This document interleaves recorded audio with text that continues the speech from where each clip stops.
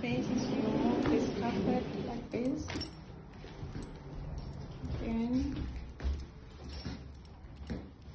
remove that. Use the bottom side. Don't use the end or the head.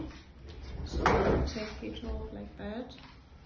Then you lift it like that using that handle. And then your move are in there. Everything you need for the bed. Mm-hmm. Okay.